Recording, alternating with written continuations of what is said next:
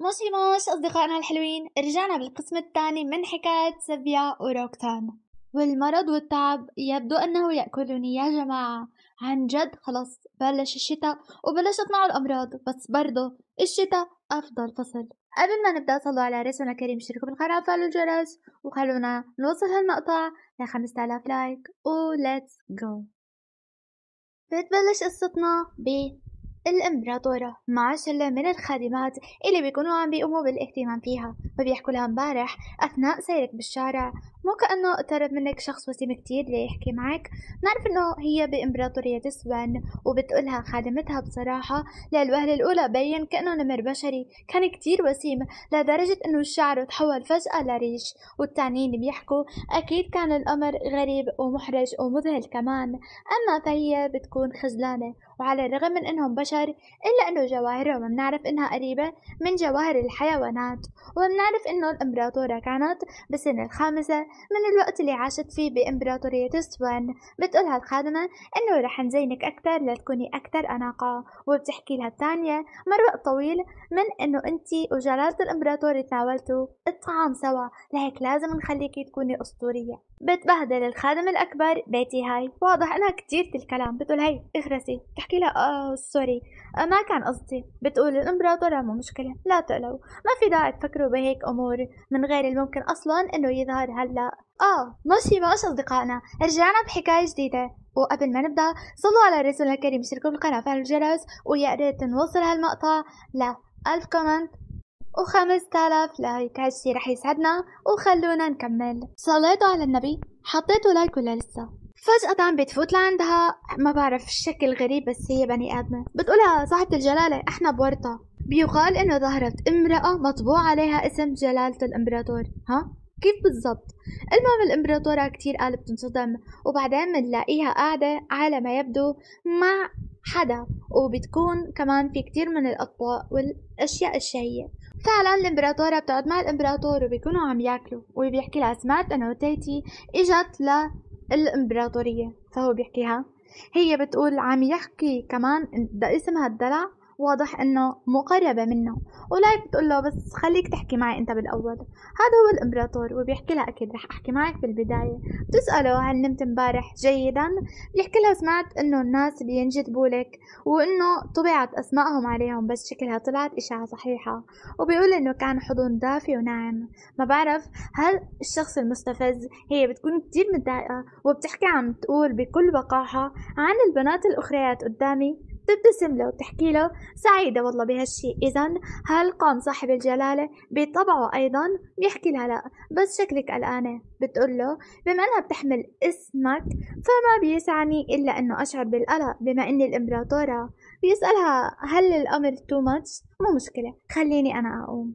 تحكي له قوم انقلع مع القلعة المهم طبعا هي بتضل قاعدة وبتكون كتير متضايقة وبتكون رح تبكي من القهر بتقول ديميوس لو أنت رح تضل هيك خلونا نرجع للماضي. زمان لما كانت هي مع هالذئب هاد. نعرف إنها هي وداميوس يعني سافيا الإمبراطورة. هي وداميوس من زمان كتير كتير كانوا رفقات وهو على شكل ذئب وكانوا كتير صحاب وكان يسألها إذا هي خايفة منه. قالت له لا بالعكس كنت رائع. فحكى لها أكيد أنت اللي رح تكوني علامتي. قالت له شو يعني علامتك؟ ما عم بفهم. حكى لها إحنا السوان عنا شي اسمه علامة. فقالت له كيف يعني؟ فبيحكي لها بيقال بأنه اسم شريك القدر بيتم طباعته على جسد الشخص يعني على أساس أنه ليكون هو زوجها أو هي زوجته وأنه يكون قدرها بيتم طباعة اسمه على جسدها واسمها على جسده بس مو أنه حدا بيطبعه بيظهر فجأة على الجسم. بتبتسم سافيا وبتقول له أكيد هالشي كذبة مستحيل. فبيحكي لها لا عن جد هدوليك اللي انطبعت أسمائهم بيوقعوا بالحب. هالشي مقدر. قالت له sorry بس أنا مو مثلكم. أنا إنسانة طبيعية واسمك ما رح يظهر على جسدي. قال لها مو مشكلة إنتي رح تكوني على جسدي وهالشي كافي لأنه إنتي هي قدري. لكن كل شي تغير ولهالسبب كانت هي كتير حزينة سافيا فجأة فاتت لعندها واحدة مبينة حرباي من شكلها وبتقول يا حرام بالله مو القدر. مختلف جلالة الإمبراطور بضل يحكي عني صح؟ وهذا الشيء اللي بيعني إنه اسمك يكون مطبوع عليه لأنه للأسف مو اسم سيفيا اللي كان مطبوع على جسد داينوس وإنما اسمها الحرباية اللي قالت لها سوري بسبب العلامة حاسة إنه لازم أضل طول الوقت موجودة جنبه باستمرار. آه بالمناسبة انتي ما عمرك شفتيها من قبل صح؟ خليني أورجيك إياها. هيك بتتفاجئ سبيا كتير بوقاحة ودناءة هالبطيخة هاي اللي قاعدة عم تغايظها وتقولها إنه أنا طلعت قدر الإمبراطور داميوس ومو انتي يا حرام. سافيا بتنقهر كتير وبتقول شو الكلام اللي حكت لي يا دوبها. بعدين بتروح وبتشوف إنه حرفيا هي نطت بحضن داميوس وكان يضمها ويحكي لها قلت لك لازم تكوني حذرة جسدك ثمين بالنسبة لإلي. قالت له سوري كنت على وشك أتعرقل. فبيحكي داميوس بس ليش أنتوا التنتين سوا؟ فبتقول له بالغلط يعني كنا مع بعض وأنا كنت حابة أجي وأزورك وأفاجئك. فبيحكي لها أوبس كنت على وشك إني أغادر. بعدين هي بتسأل داميوس شو اللي رجعك؟ هل في شي تاني بدك تحكيه؟ فبيقول سافيا آه صح. كنت بدي أحكي لك شي. لكن بتقاطعها من زفت الحرباية وبتقوله أنا تعبانة. ممكن تدخلني لجوا؟ فبيحكي لها ديميوس أكيد.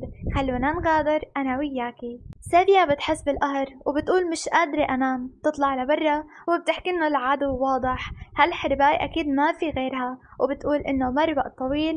من آخر مرة شافت فيها هالحقد القوي. أصلا كيف وصلت لهالمكان؟ بتحاول. شايق زفير. تنفس وتهدى وتقول لازم أكون ملتزمة بدوري كإمبراطورة وبس. فجأة بيطير الوشاح الخاص فيها وبتحس إنه الجو برد وبتتساءل كيف وصلت أصلا لهذا المكان. بيقترب منها شخص وبيحط الغطا عليها وبيقولها ملابسك رقيقة جدا والجو بارد تلتفت هي وبتقول مين هذا الشخص بالضبط؟ وبتسأله شو عم تعمل؟ تتساءل هل هو من أكلي اللحوم ولا من النباتيين؟ يبدو من الأجواء إنه ممكن يكون شخص سيء. بيحكي لها بعد ما تجولتي حول القلعة لفترة. أنا كمان ضللت الطريق. فهل ممكن ترشديني للطريق؟ تستغرب هي بتقول. شكله ما بيعرف إنه أنا الإمبراطورة. بتحكي له. سافيا أوكي. بس راح أرد لك تمن إنك رجعت لي المعطف. شكرا لإلك فعلا تاخده لبرا وبتطلع عليه. وبتقول إنه في عنده كتير من الجروح. فشكله شخص رجع من المعركة. ولهالسبب بتسأله ممكن تحكي لي اسمك؟ بابتسامة يحكي لها شكلك مهتمة فيا. بتخجل وبتقوله شو هالهبل؟ بعدين شو قصدك بالضبط؟ بيشوف القلادة والقلادة تعني إنها متزوجة. فبيحكي لها سوري ناديني باسم روكسان.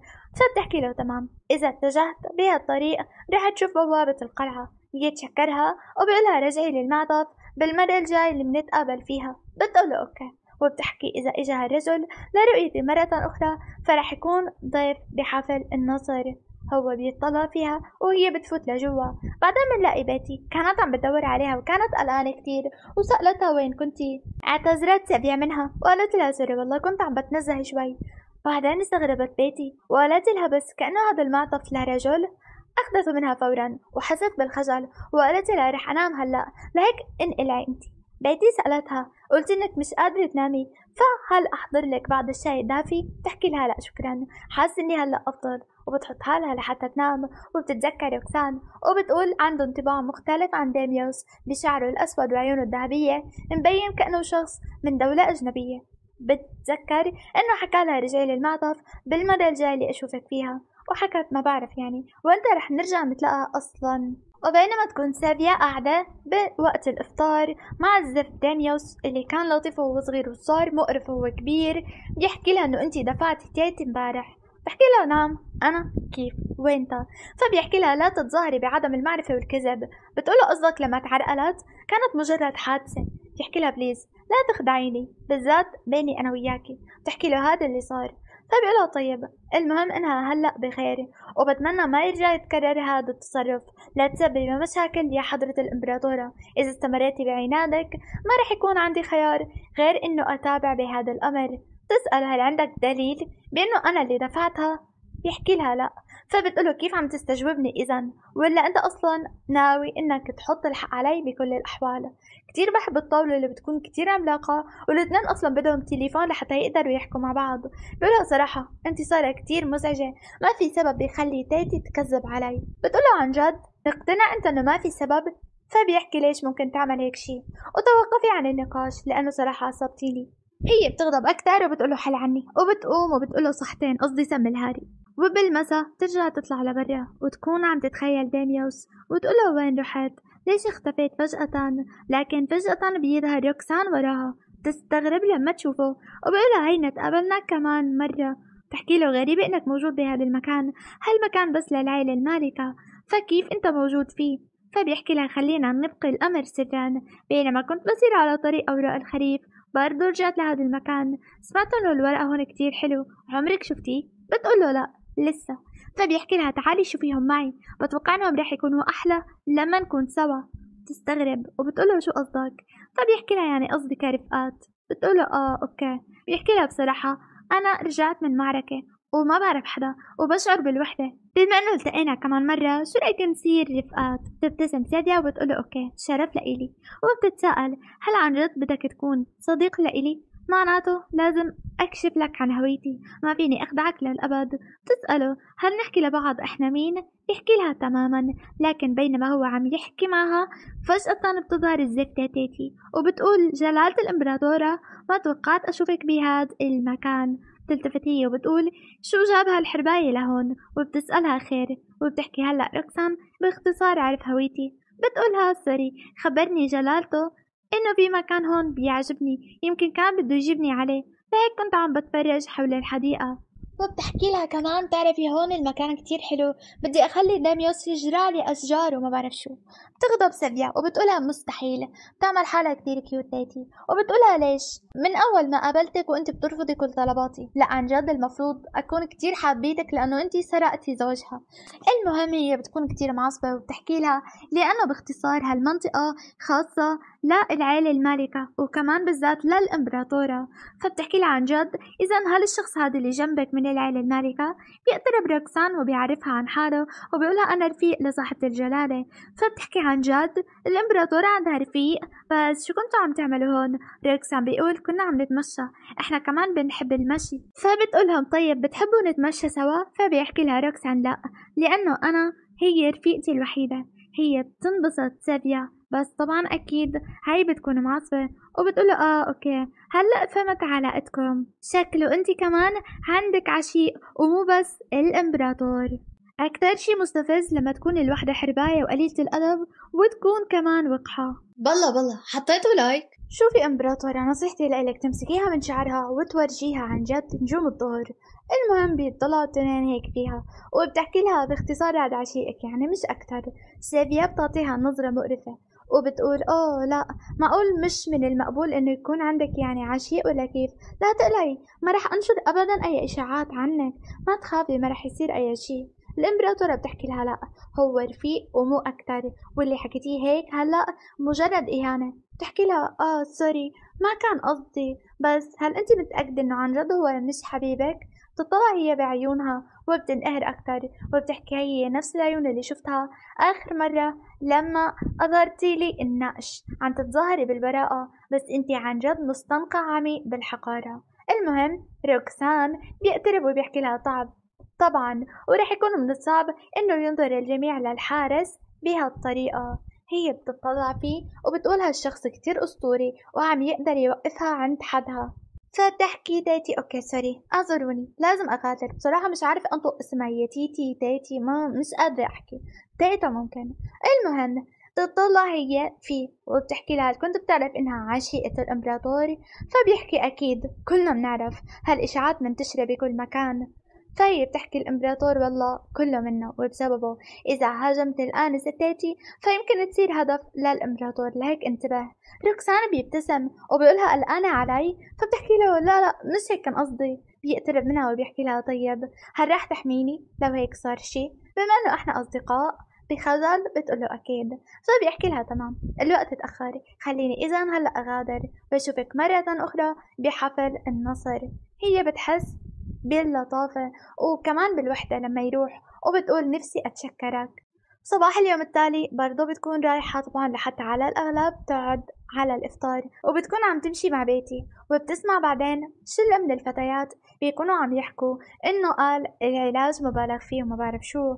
فبتستغرب وبتسألهم عن شو عم تحكوا. بيقولوا لها آه سوري كنا عم نحكي عن البرابرة لأنهم لسه غير قادرين على دخول العاصمة. هالشي مبالغ فيه. تستغرب سيفيا وبتقول كنت بعرف إنهم وصلوا للعاصمة من أكثر من شهر. فبيحكوا لها مع هيك يقال بأنهم لسه بيخيموا بدون ما يتمكنوا من دخول بوابة العاصمة. الإمبراطور أعطاهم أمر بالانتظار. تستغرب سيفيا من هالكلام وبتسأل ليش؟ فبيحكوا ما بنعرف السبب لكن هي هي المرة الأولى اللي بنشوف فيها موظف حكومي بيتعامل بهالطريقة السيئة. سيفيا بتتشكرهم على إخبارها وبتقول ليش داميوس لا يعمل هيك شي فريق القهر هم أبطال حفل النصر هذا لازم أقابله شخصيا وأسأله. بينما هي بتكون عم تمشي تيجي لعندها كبيرة الخدم باستعجال سيدة ليمورتي وبتسألها خير شو فيه فبتقولها الإمبراطور عم يستناكي بغرفة الرسم. بتستغرب وبتروح لحتى تشوفه. بتلاقيه واقف وبتسأله خير حضرتك واقف؟ ليش مبين كتير جاد؟ بتتسأل إذا إله علاقة باللي صار من قبل وبيحكي لها تيتي حكت إنها شافتك مع رجل عند البحيرة. فبتقوله طيب وبأهلها بتحكي آه صح نسيت إنه هديك الحرباية إلا ما تقوله وبتسأله شو يعني كانت عم تبكي لك وحكت لك إنها تعرضت للإهانة ولا كيف؟ فبيحكي لها لا بدي أعرف شو نوع العلاقة اللي بتخليك تكوني مع رجل لحالكم؟ هل تم القبض عليكم من قبل تيتي؟ وانتو سوا بعلاقتكم السرية؟ تستغرب هي أنا ليش عم بتبرري له؟ احكي له ما دخلك. المهم بتقول له هو مجرد صديق فبيحكي لها وجود صداقة بين الأنثى والذكر عن جد. هالشي بيثير الدهشة. بتقول له معلش ما عم بفهمك. أنا مو مثلك أنا بشرية وبقدر عادي أكون صداقات. المهم بتحكي له أنا أصلا كمان كنت جاي أشوفك. رجاء إزالة الأمر تاع طلب الانتظار لفريق الإخداع. هالشي أكيد مو منطقي. فبيحكي لها وانت شو دخلك؟ شي ما إله علاقة بالإمبراطورة. بتقوله لا إله علاقة فيا. مثل ما هم شعبك هم شعبي كمان. مهما كانت المشاعر اللي موجودة بينك وبين الضوء لبر فهم أبطال ضحوا بكل شي من أجل الإمبراطورية ولازم تعاملهم بشكل جيد. بيغضب وبقولها امتنع عن الكلام وكمان بيعطيها فايب مخيف كتير. هي بتتوتر وبتقول كل النوافذ مغلقة بس مع هيك شعره عم يطاير. بالتأكيد هالشي دليل على إنه حيوان. بيحكي لها طيب اعملي اللي بدك إياه. تتساءل هي خير ليش حضرتك معصب لهالدرجة؟ بعدين الآنسة ريماردي بتيجي لعندها وبتسألها إذا هي بخير. سافيا بتقولها أنا تمام بس ارسلي رسول للبوابة الشرقية للعاصمة ليعطي الإذن لفريق الإخضاع لحتى يفوتوا وبتفويض من الإمبراطورة رح نوفر لهم مكان للإقامة. الآنسة ريماردي بتقولها حاضر وبتتسأل هي كيف تمكن روكسان إنه يدخل القصر بكل الأحوال؟ على الأغلب هو عضو من فريق الإخضاع. فجأة بيجي واحد من الفرسان من فريق الإخضاع وفورا بيكون مستعجل وبيخبرهم إنه بوابات العاصمة انفتحت وأخيرا حصلوا على التصريح لحتى يفوتوا. بيفرحوا كلهم وبيكونوا سعيدين وبيقولوا يبدو إنه الإمبراطور أخيرا رجع لرشده. فبيحكي واحد فيهم إذا قلت هالكلام حتى مع دخول العاصمة رح يتم القبض عليك قال على أساس إنك عم بتهين العيلة المالكة. فبيقول خليهم يقبضوا علي عشنا بجحيم لمدة عشر سنين وهيك بنتعامل عن جد إنه الموضوع مستفز. بعدين بيقولوا صح وين روكسان فجأة بيلاقوا وصل. وعلى ما يبدو إنه هو قائد فريق الإخضاع. بيسألوا وين كنت وإنه البوابات مفتوحة. فبيحكي بعرف أنا دوبي جيت من هناك. فبيقولوا إنه الإمبراطور أخيرا فتح القلعة. لكن بيحكي روكسان مو الإمبراطور وإنما الإمبراطورة. لأنه الإمبراطور الزفت أبدا مو موافق بس لا تقلقوا. رح نخليه يندم بالتأكيد. وهيك بيعطيهم الأوامر بأنه يفوتوا للعاصمة بيهتفوا كلهم وهم سعيدين. وأخيرا بنشوف يوم النصر بيكونوا الإمبراطور والإمبراطورة عم يدخلوا من الاحتفال سوا مع بعض يعني على أساس. وهي بتحكي الكل عم يتطلع لنا. هذا هو أول ظهور علني لديميوس من وقت تولي الحكم. ويمكن عم يتساءلوا لأي مدى تطورت علاقتنا؟ إضافة لوجود الحرباية توقعت أنه ديميوس رح يعطيها معاملة خاصة لكنه أعطاها مقعد ما بيجلسوا عليه إلا العيلة المالكة. عن جد خليني أحاول أتنفس وأهدى. شهيق زفير.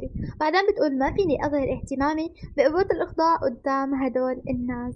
الأبواق تقرع وكل شي وبيدخل الدوق كلود ليبر القائد العام للقوة العقابية وبطل حفل النصر. لما يشوفوه الكل بيتفاجئوا وأولهم سافيا لأنه روكسان هو اللي ظهر. تتفاجأ. سيفيا لما تشوفه. وبتقول روكسان هو طلع نفسه الدوق ليبر بس اسمه دوق ليبر هو كلود. بتساءل عن جد إذا كان بده يخفي حقيقة إنه هو الدوق. يطلع لها بابتسامة وبتشعر هي بالخجل. بيحكي الإمبراطور أهلا بعودتك. فبيعرفهم بأنه كلود ليبر ورجع بعد إخضاع البرابرة. وبيقول عم بنخطط لمواصلة استكشاف منجم الحجر السحري. بعدين نعثر على ستة. حتى الآن لداخل أراضي البربرية وبيجري استكشاف مناطق غير مرسومة على الخريطة. بعقلها بتقول فينا نجني مبلغ فلكي من المال من خلال منجم واحد ست مناجم إنجاز عملاق. الكل بيكون عم يحكي عنه ويقولوا إنه الضوء ليبر أسطوري. لكن الإمبراطور بيكون مش طايقه وبيحكي له أحسن صنعا. نفسي الإمبراطور وده يكونوا رفقات وبيقول له تكريما لإنجازاتك شو اللي بتحب تاخده كمكافأة؟ الكل ببلش يحكي أكيد بده يطلب الوصول الكامل للأراضي البربرية وإنه تكون المناجم لإله وغيره لكن على العكس روكسان بيقول بدي أحصل على مباركة من صاحبة الإمبراطورة. أكيد هالشي بيخلي الكل يستغرب وبتتفاجأ سيفيا بالذات وبيحكي طيب لازم تطلب هالشي من رئيس الكهنة. الشخص اللي بيحمل نجمة عشتار هو مثل القديس ولهيك فهي مؤهلة لإعطاء البركات. نعرف إنه نجمة عشتار هي امرأة. إذا تزوجت رح تعيد إحياء الإمبراطورية. وبتقول سافيا لأني كنت نجمة عشتار اللي أشار إليها الكاهن. طلب مني دميوس أتزوجه وهلأ روكسان عم يطلب مباركتي. تحكي له تمام مع أنه ما باركت قبل هيك لحدا. طريقة ما حاسة انه فيني أعملها لروكسان تنزل لعنده بتقوله كنجمة عشتار ببارك للدوق ليبر. وبعد المباركة بتقول وبتتذكر الكلام اللي حكى لها إياه إنه كنت بعيد جدا بساحة المعركة وما بعرف حدا غير عدد قليل. شاءت الأقدار نتلقى مرتين وبتحكي له عسى إنك تتحرر من الوحدة وتلاقي مكانك بالحياة. هو بيتفاجأ وبيحكي لها التألق لإمبراطورية الوحوش. بيكملوا عزف وبعدها بيكون الرقصة الأولى للإمبراطور والإمبراطورة وبيتم فتح أبواب الاحتفال. بينما عم يرقصوا سوا بيسألها هل هو هون؟ تنزعج هي وبتقوله ها فبيحكي لها عشيقك هل هو موجود؟ تحكي له خبرتك ما عندي عشيق. فبيحكي لها إذا أردتي فيك تمرحي عادي. بس ابتعدي عن الضوء ليبر بتقوله بالله وليش هيك شي؟ ما إلك حق تتدخل بمين برتبط؟ وهلأ حل عني.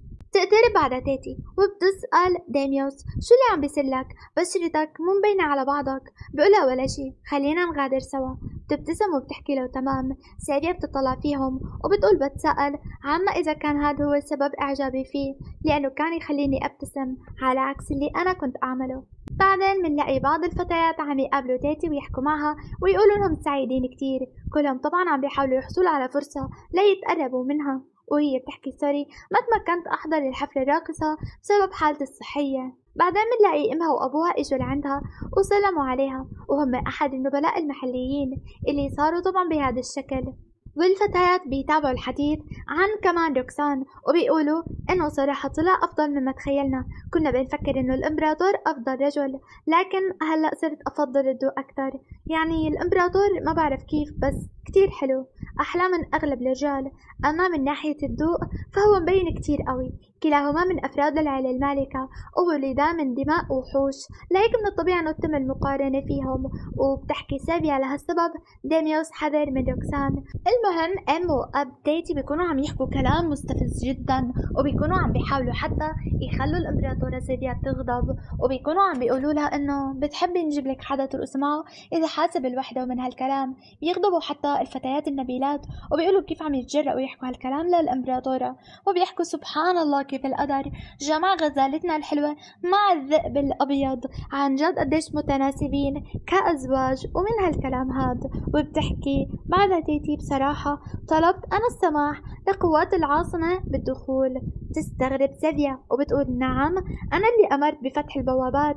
كيف فيك تكذبي؟ عيني عينك قدامي. فبيتأثروا بعض الفتيات وبيقولوا عن جد ما كنا بنعرف إنك حكيمة لهالدرجة. بتقول لا بالعكس. على ما يبدو بما إنهم جلبوا المجد للإمبراطورية فمن العادل إنهم يتلقوا هيك شي. لكن فجأة بيحكي واحد من الفرسان كيف هيك عم بتقولي؟ الإمبراطورة هي اللي أمرت بفتح البوابات ومو أنتي على الإطلاق.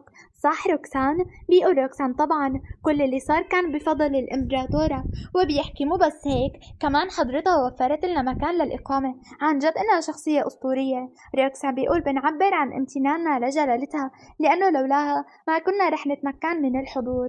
بتفرح سيفيا. وبيقولوا مثل ما هو متوقع من نجمة عشتار.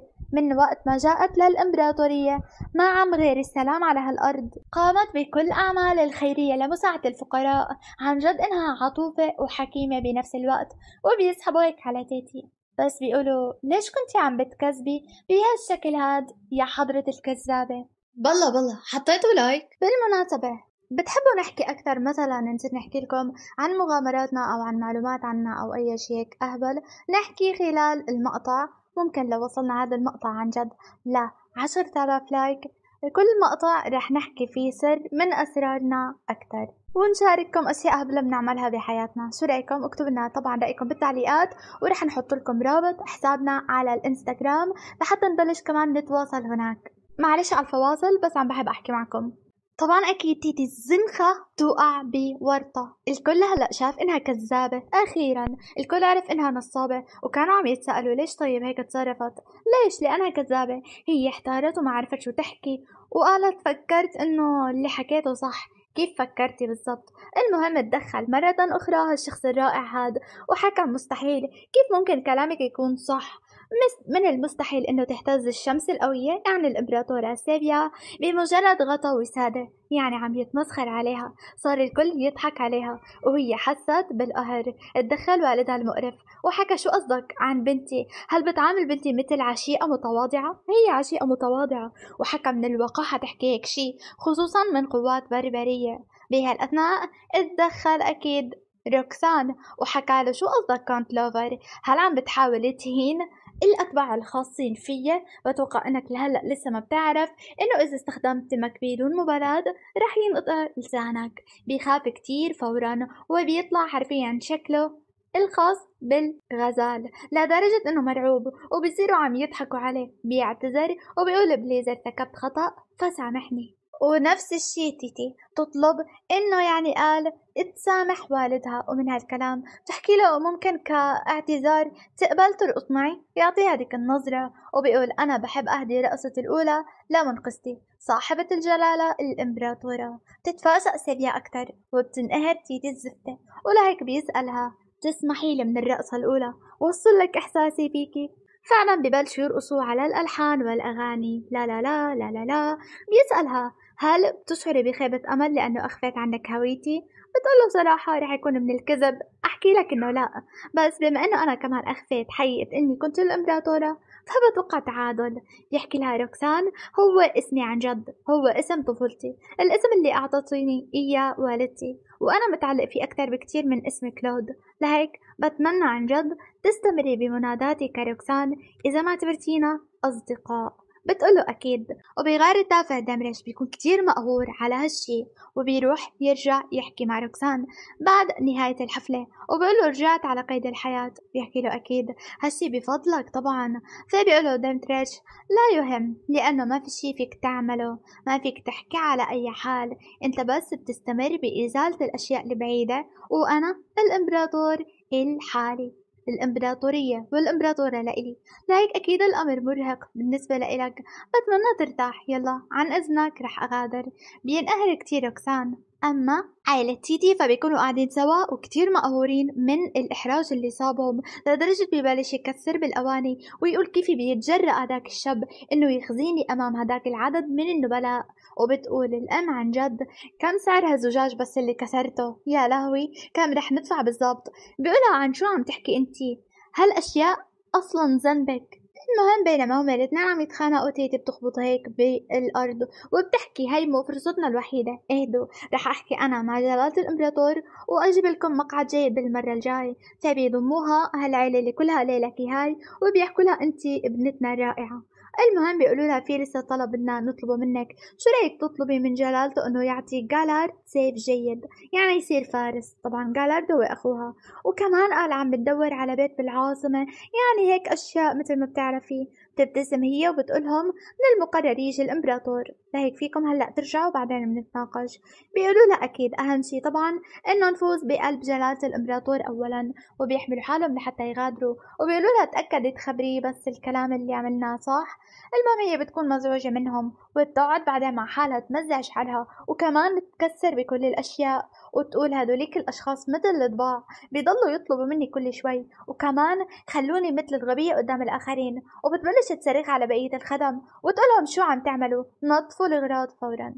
ما بعرف ليش في 300 خادمة قاعدين عندها بس بيقولوا لها حاضر. وبينما وحدة فيهم عم بتنظف بتقوم بتدعس على رجلها وبتقول هلأ بشعر بالتحسن جهزوا العلبة لأني رايحة لأشوف. الإمبراطور.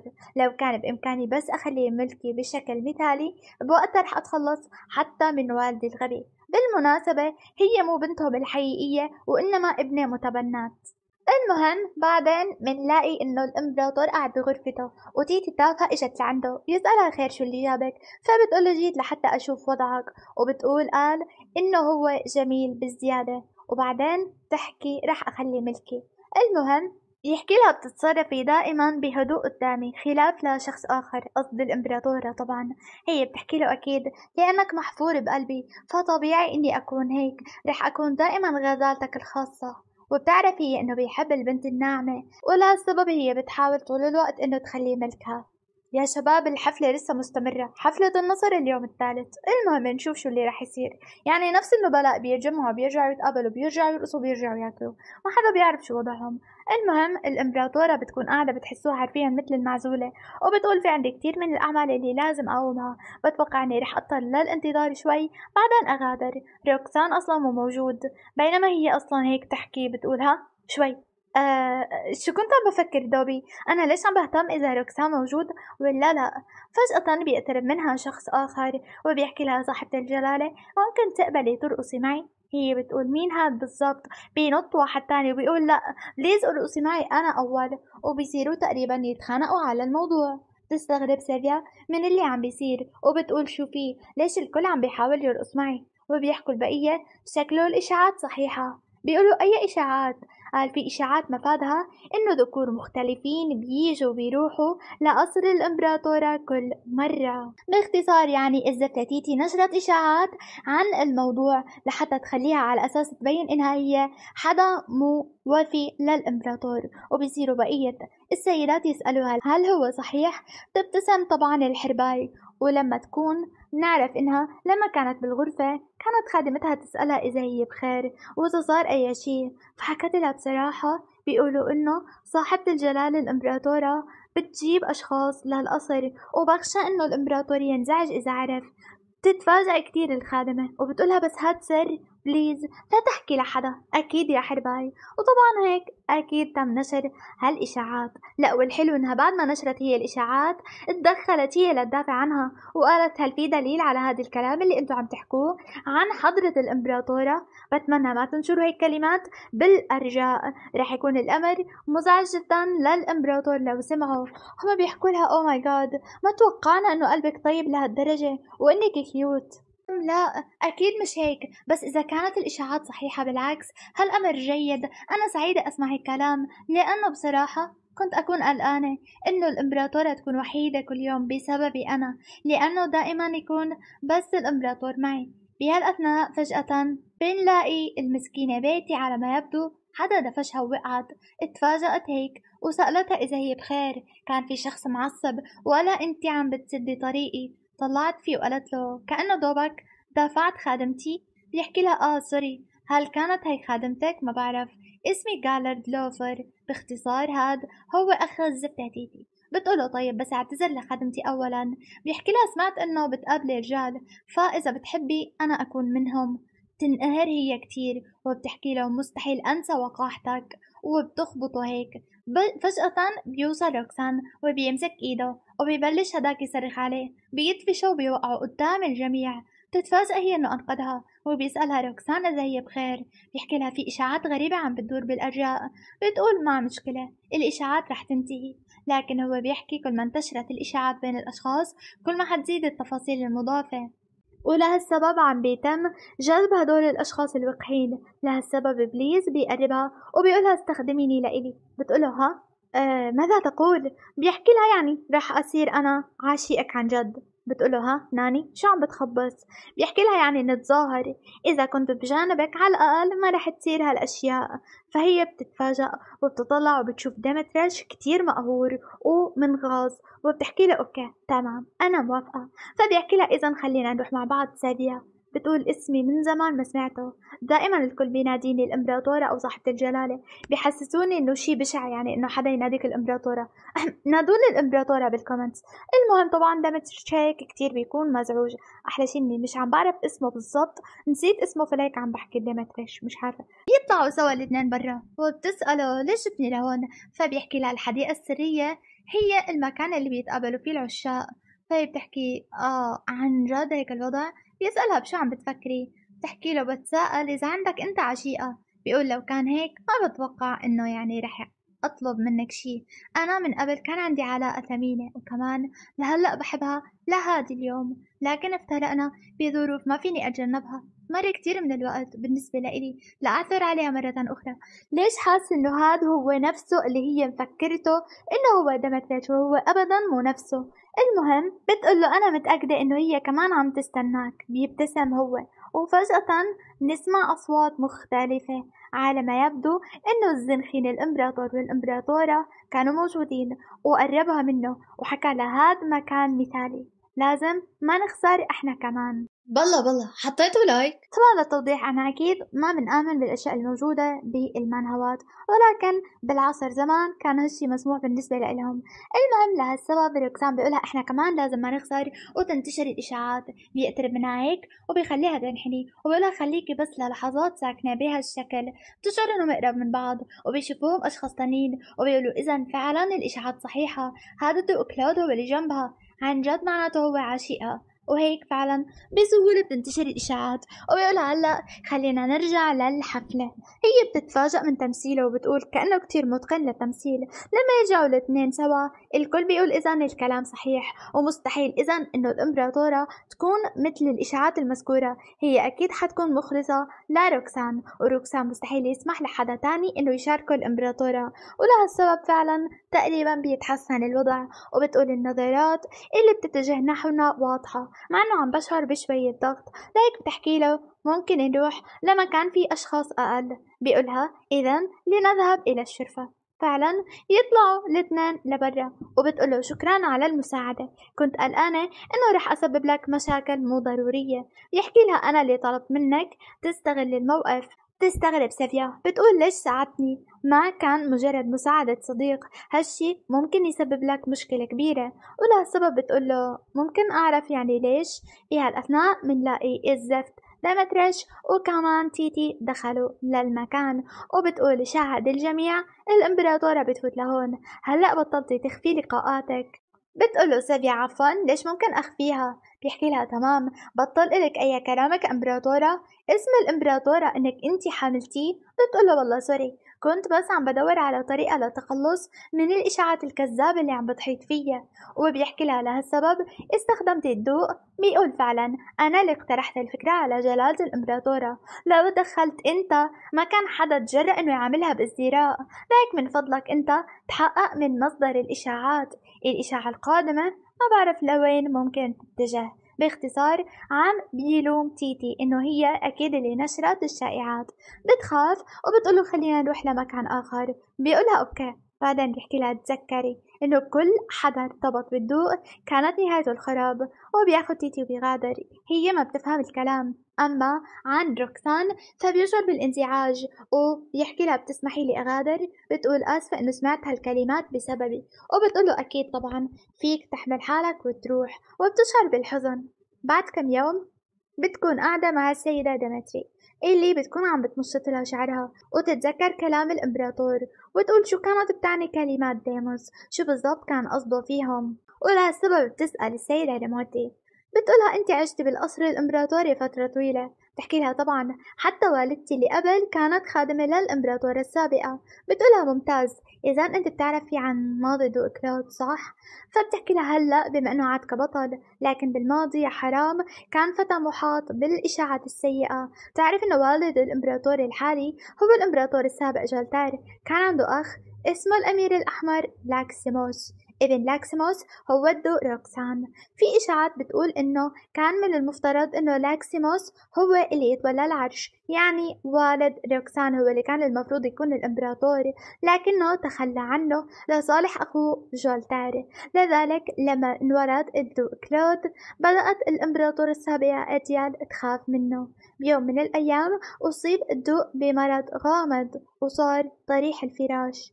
نازل الأمير العرش الأحمر عن العرش وابن العيلة المالكة الحامل لدماء الشجرة المقدسة. يعني صاروا يخافوا بما أنه عندهم وريث ومن هالأشياء. بتعرفوا كيف أنه بصير الوضع مخيف؟ المهم على كل الأحوال بتقولها أدرك الأمير الأحمر يعني والده لاكسيموس ومرته خوف الإمبراطورة السابقة اللي كانوا عم بيعيشوا بحذر شديد. بالنهاية ماتوا بسبب مرض معدي.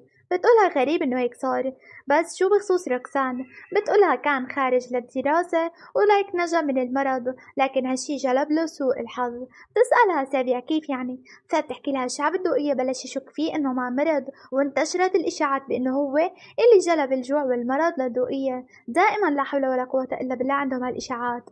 تحكي لها كيف هيك صار وصاروا يحكوا إنه دماء الشجرة المقدسة ملعونة وتم العثور على حيوانات وبقع غريبة بغرفته ميتة. شهادة الخادم اللي رأت خلت الإشاعات تبين صحيحة.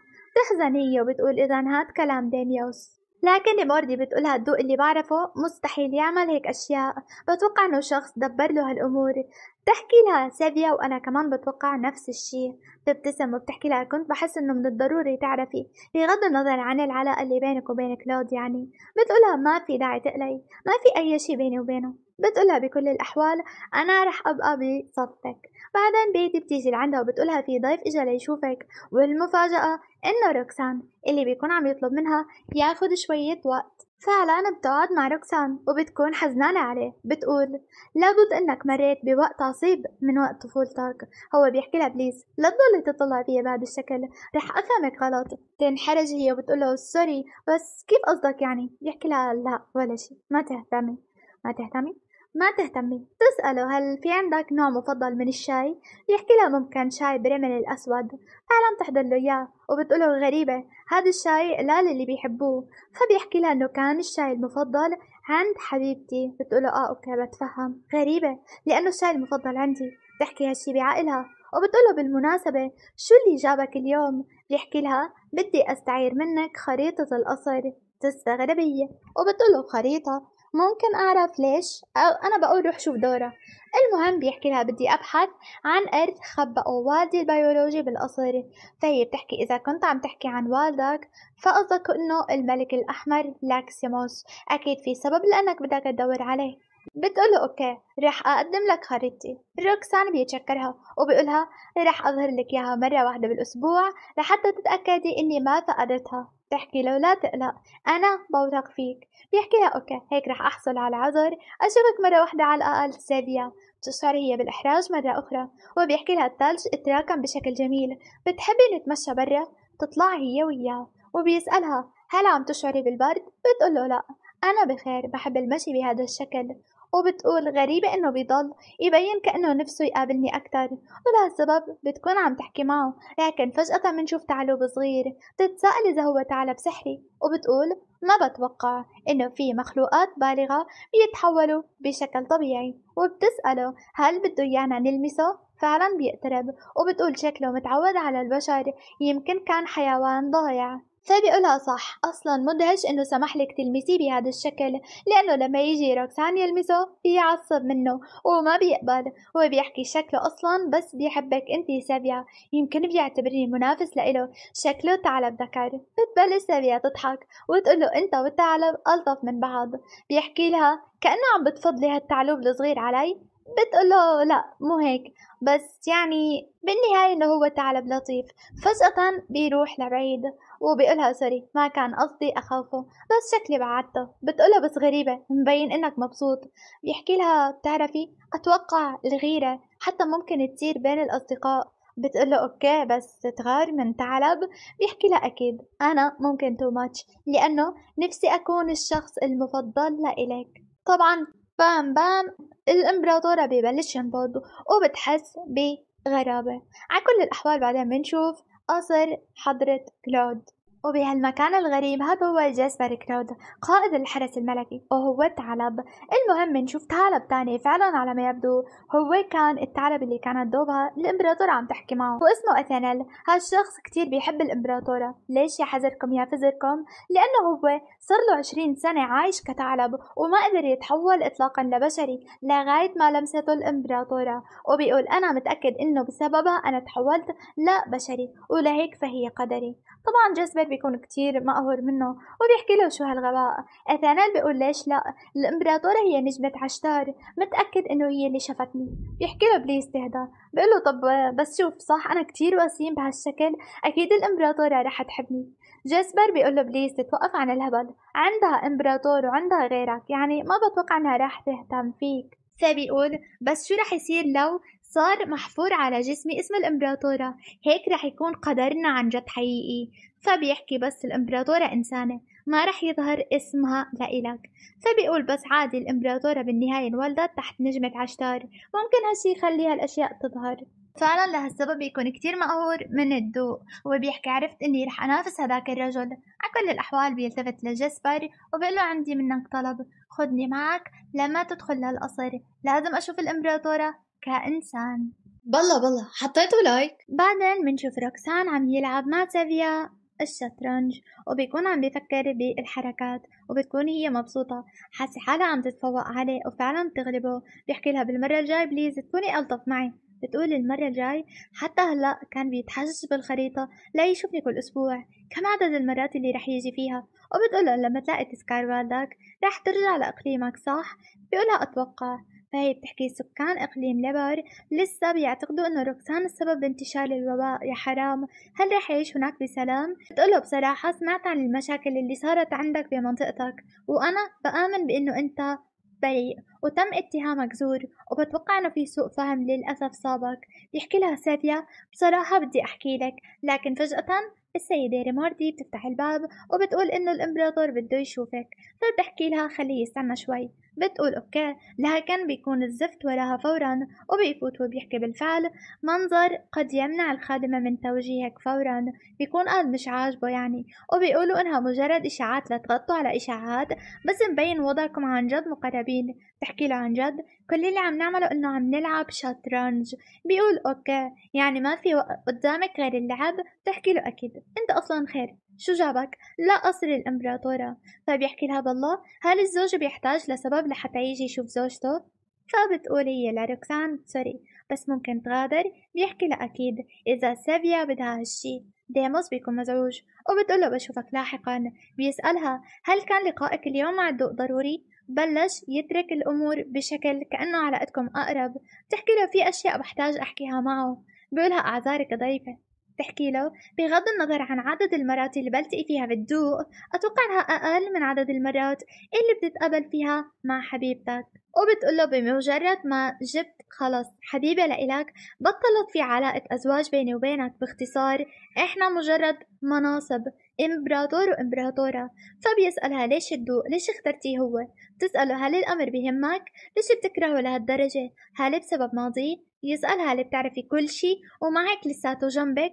بتقوله ما بآمن بال history اللي عم ينحكى والهبل اللي صار. بيحكي لها عن جد أنا بهتم فيكي. بتقوله okay. حتى لو كان الضوء عشيق لإلي ما بيهمني ماضي. كل اللي بيهمني هو إنه لازم أأدي واجباتي كإمبراطورة مثل اللي أنت عم تعمله بس.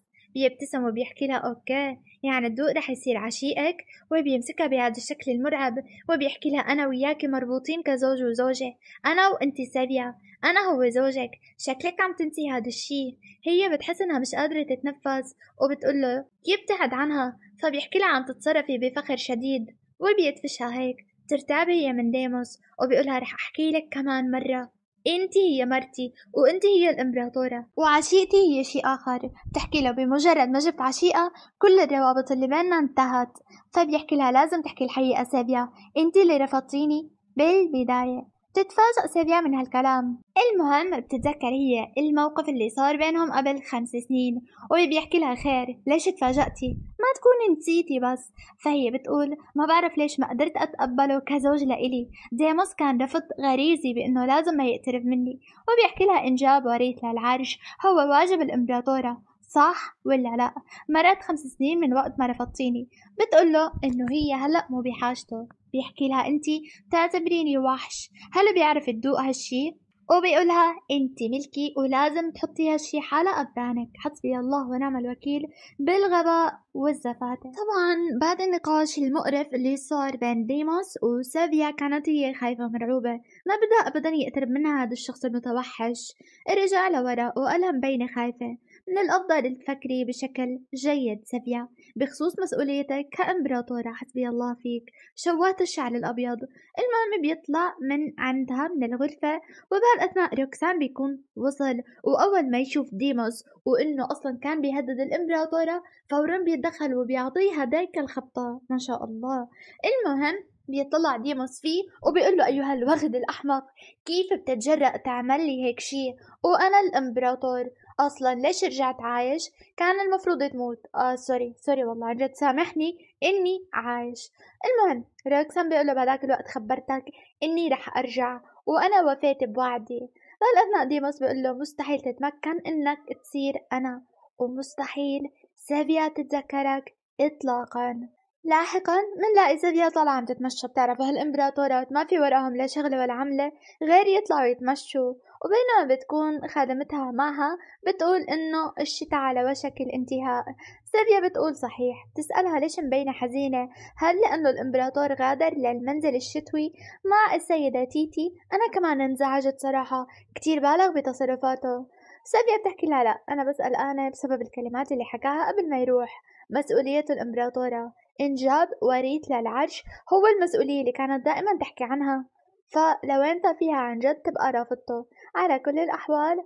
فجأة بيشوفوا أشخاص غريبين وصلوا قائد الحرس الإمبراطوري جاسبر ومعه شخص تاني بيحييها وبتقوله من زمان ما شفتك بس مين أنت؟ فبيحكي أنا الابن التاني لعائلة كرودر إيثنسل كرودر. وكتير كان نفسي أقابلك جلالة الإمبراطورة. تحكي له okay أهلا. تستغرب يعني هي أول مرة بتشوفه فليش لهالدرجة مبسوط. جاسبر بيحكي إنه أصر كتير أثل إنه يجي للقصر لهالسبب أحضرته معي. وبيقول كمان كان بدي أعتذر بشأن الحادثة اللي صارت أثناء الاحتفال بالقصر. تتسأل هي قصدا شو اللي عمله السيد جالارد لوفر بوقتها؟ إنه تم إطلاق سراحه بعد أسبوع؟ بسبب ضخامة الكفالة. بتقول باختصار يعني تيتي هي اللي دفعتها يعني باختصار ديموس أكيد هو اللي دفعها. هالشي أكيد بيكون كتير شي محرج للامبراطورة إنه زوجها هو اللي يطلع الشخص اللي أذاها ولا ضربها. على كل الأحوال تحكي لجاسبر اللي صار ما كان غلطك. فبيقول بس أنا بصفتي المسؤول عن الأمن كان لازم إنه أعتذر. وكمان بوقتها ببلش يحكي مع الخادمة برضه. هي بتقول مو مشكلة لا تقلق. okay يلا. خلاص. أكيد هدول الاثنين رح يرتبطوا. سافيا تسأل إثل خير ليش كنت بدك تحكي معي؟ بيحكي لها صراحة أنا جاي هون لحتى أدور عن ثعلبي خبرني شخص إنه شاهده بيجول بقصر الحديقة. تحكي له قصدك هداك الثعلب الأحمر؟ أنا كمان شفته. okay كان ثعلبك. كنت قلقانة عليه على فكرة.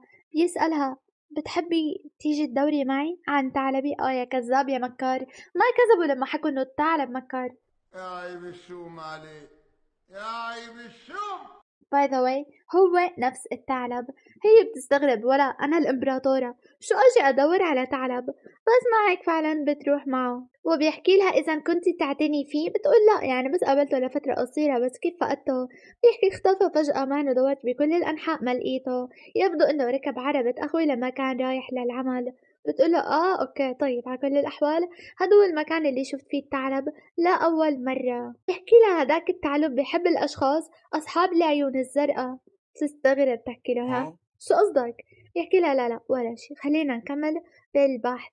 وبعدها قال بينما عم يتمشوا بيقولها بس شكله الأرض بتزحلق فخليني أمسك إيدك أثناء المشي. بتقول على الرغم من إنه الأمر أسوأ مع ديموس إلا إنه حاسب نفس الرفض لما أتواصل مع رجال الآخرين. تحسنت كتير بس لسه برضه.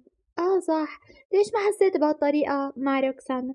المهم أكل بيقولها امسكي إيدي وفعلا بتمد إيدها لحتى تمسكها. وبيحكي لها إنه إيدك كتير باردة. هل حاسة بعدم الراحة بتقوله يعني أكيد. يعني شو متوقع المهم تمسك إيده وبيمشوا سوا وبتحكي ما فيني أمسك إيده بأحكام بس برضه ما فيني أفلتها. إذا مشيت بحذر يمكن أقدر لكن فعلا بتيجي لحتى تتزحلق. واكيد يلا كلنا ننصدم. طبعا روكسان بيكون ظهر سبحان الله. من وراها فجأة وحكالها خبرتك تكوني حذرة. لما تتمشي على طريق سافيا لما تشوفها بتحس بالخجل طبعا وبتتذكر هالشي. صح انذكر بس ما كان من قبله وإنما كان من قبل على ما بتتذكر ديموس. لما حكالها خبرتك تكوني حذرة أثناء المشي على طريق المتجمد سبيا تحتار. ليش هيك عم بيقول؟ لا لا هاد روكسان بس الكلام كان من ديموس. يعني باختصار شكله ديموس الزفت بدل لها الذكريات اللي خاصة بروكسان وخلى كأنه شكله اللي يكون. هاد طبعا أكيد هبدة من هبدأتي؟ روكسان بيسألها إذا هي بخير. بتقوله بس تفاجأت شوي مش أكتر. وبتقول هي اهدي يعني عادي. أي حدا ممكن يكون قالك انتبه لخطواتك. مش هالقصة. بيطلع روكسان بأثل وبيحكي له شو عم تعمل أنت بقصر الإمبراطورة. بيقول له كنت عم ببحث عن ثعلبي فبيحكي له من هلا ورايح الأفضل إنك تدور لحالك. الأرض متجمدة من الخطر على الإمبراطورة إنها تسير عليها. فبيسأله وانت ليش جيت لقصر الإمبراطورة؟ بيقترب هيك من زافيا وبيحكي ما في عندي سبب محدد لآجي. آه من المحتمل إنك أنت ما بتعرف. بهالأمور إثل بيقول له لا تعاملني وكأني طفل. فسيفيا بتحكي له sorry بس أتوقع إنك رح تكمل بحث لحالك. أنا أصلا عندي موعد مع الضوء بحس قلب الحزن أثل بقولها okay. إذا رح أجي لأشوفك مرة أخرى. ها؟ شوفني. مو المفروض إنك جاي تدور على الثعلب المهم سافيا بتسأل روكسان كيف عرفت إني أنا كنت موجودة؟ بمكان عميق كتير بالحديقة. لا وظهر فجأة سبحان الله.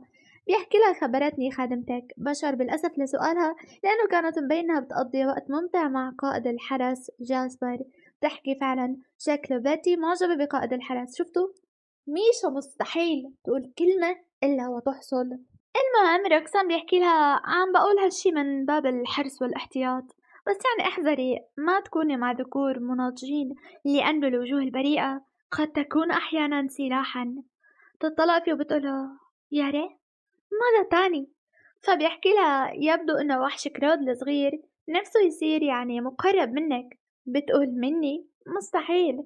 فبيحكي لها زافيا أنا بدي أكون الشخص الوحيد اللي قريب منك. بتشعر بالإحراج وبتقوله كنت بدي أخبرك من قبل بس روكسان كتير بتدلي تسريحات ممكن إنه يوسع فهمها. بيحكي لها عن جد؟ إذا أنا جد تماما سيئي فهمي. بتقوله لقيت حبيبتك روكسان فبيوقف هيك وبتحكي آه سوري يمكن سؤال سؤال ما كان مناسب. بيحكي لها لقيتها لكنها كانت متزوجة. تنصدم. تحكي له عن جد؟ آسفة ما توقعت إنه هيك الأمور. يحكي لا الأمر كان خطأي أنا تأخرت وما كان ذنبها لكن لازم نراقب إذا كان زوجها بيستحق إنه يكون معها ولا لا. تستغرب هي من هذا الكلام وبتحكي له كيف يعني شو قصدك؟ بيقول ولا شي انسي. على كل الأحوال غربت الشمس وخلينا نروح لاحقا.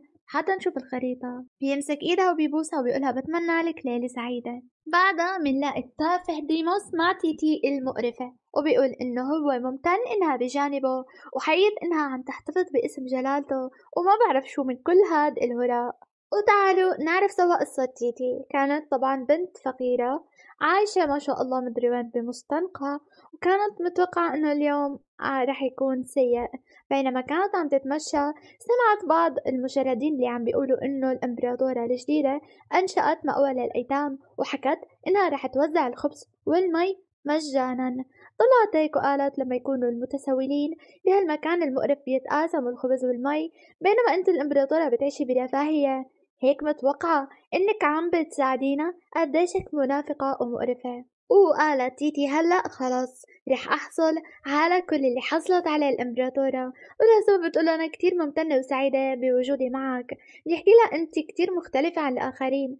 بتقول له بسمعك إبليس لا تكره الإمبراطورة كتير. إذا افترقتوا بسببي أحس إنه في شي بشع رح يصير. بيحكي لها بتخافي منها؟ بتقول قال طبعا لأنها بتكرهني. يحكي لها يمكن هي ما بتكرهك هي ببساطة. ما بتحب أي حدا مش أكتر. تستغرب هي من هالكلام. وبتقوله بتعرف سمعت إنه مراسم التطهير رح تبلش. هل ممكن تاخدني معك لهالمراسم؟ بيحكي لها.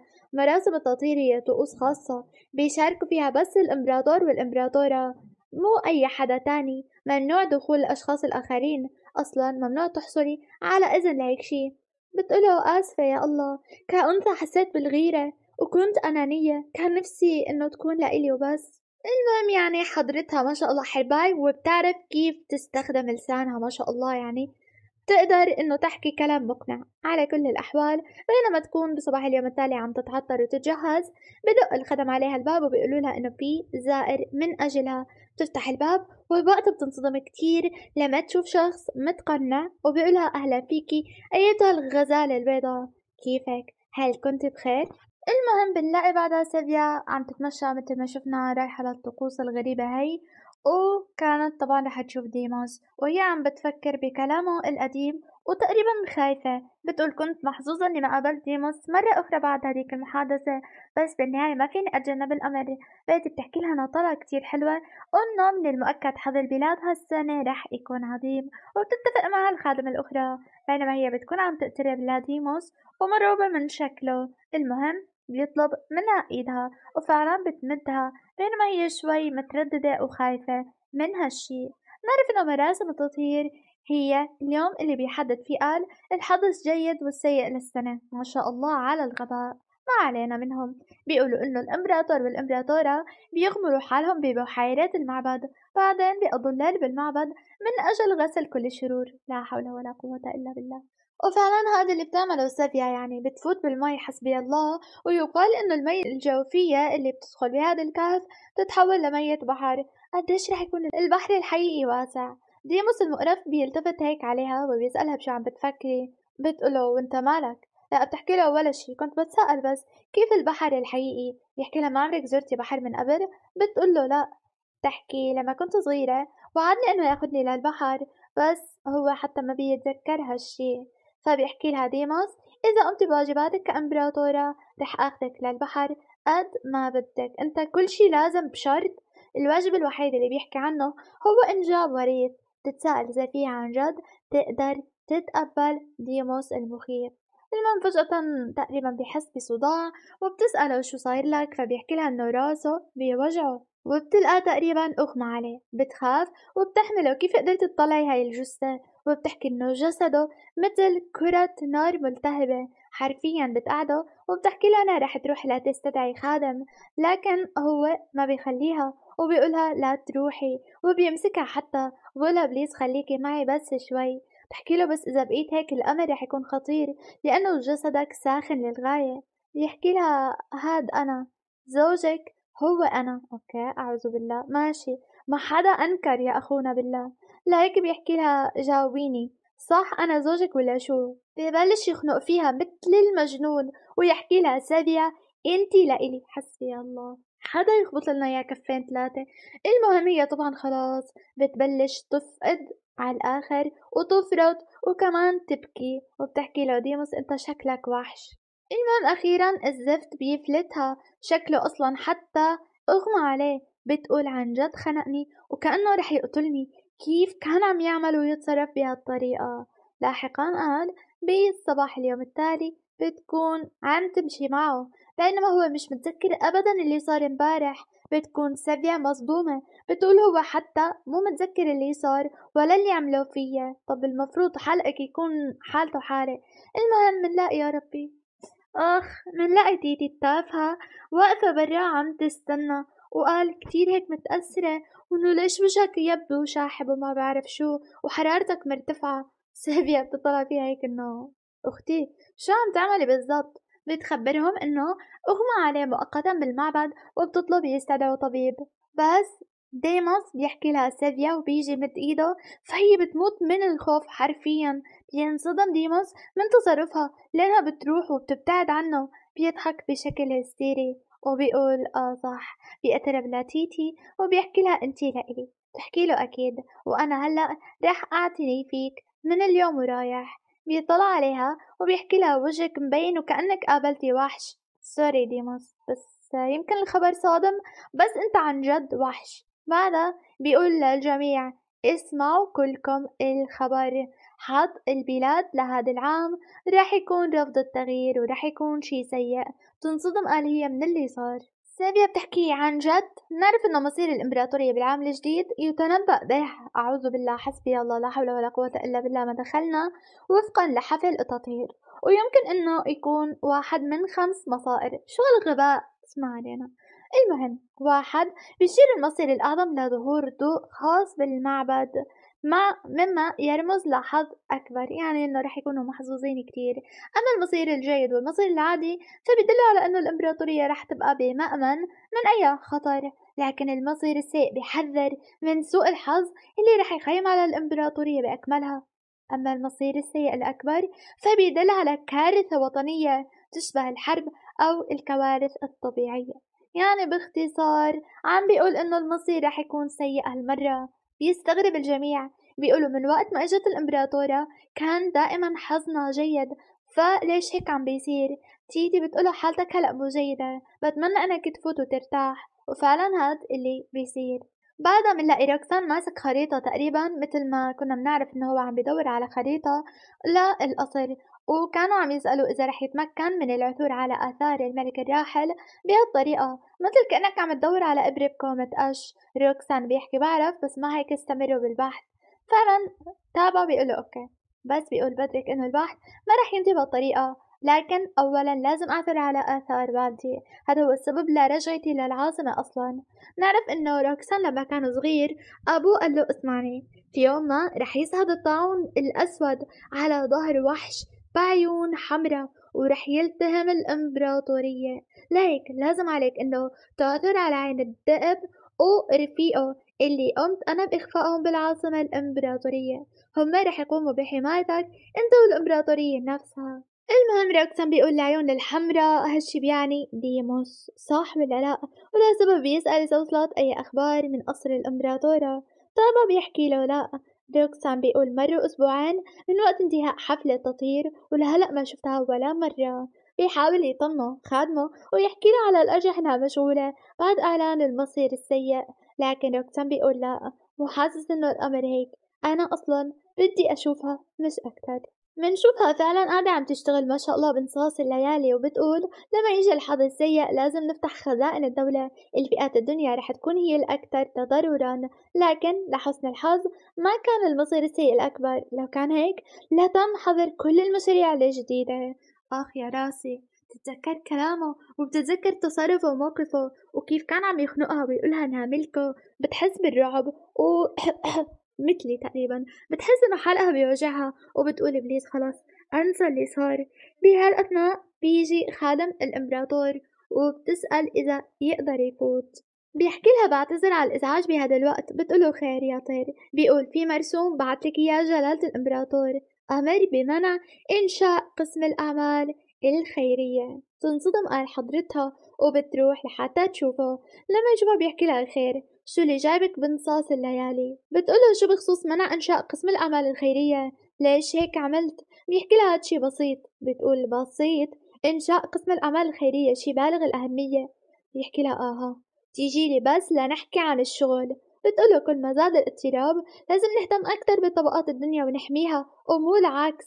يحكي لها يا ري يا ري ما شاء الله قديشك حنونة يا عمري. عن جد عندك قلب نبيل بيهتم بخدمة الناس. قديشك إمبراطورة. تنزعج سافيا بتقول عم بتحاول تهيني بالعمد. بيقولها بقدر سخائك ورح أساعدك كإمبراطور بتقليل الأعباء.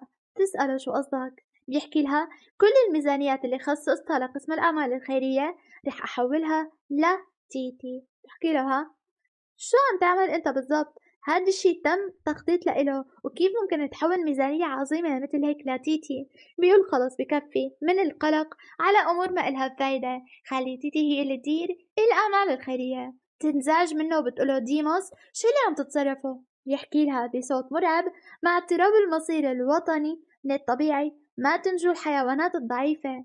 سافيا بتقول عم يحكي عن الشعب وإنه رح يضحي فيه كيف هذا الشخص ممكن يكون الإمبراطور الأموال اللي ممكن تنقذ حياة آلاف من الأشخاص بده إياها يتم إنفاقها على مجوهرات حبيبته.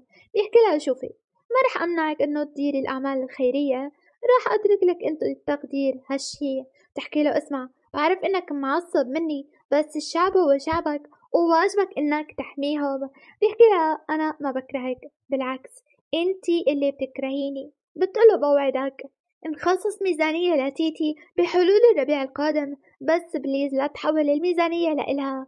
رح أحاول أحقق اللي بدك إياه. بهالأثناء بيقترب منها وبيحكي لها هالشي ما رح يكون كافي لإبرام الصفقة إذا كنتي بدك تحقق اللي بدك إياه قومي بواجباتك كإمبراطورة. إذا كنتي مستعدة للتفاوض تعالي لي بنفسك بكرة.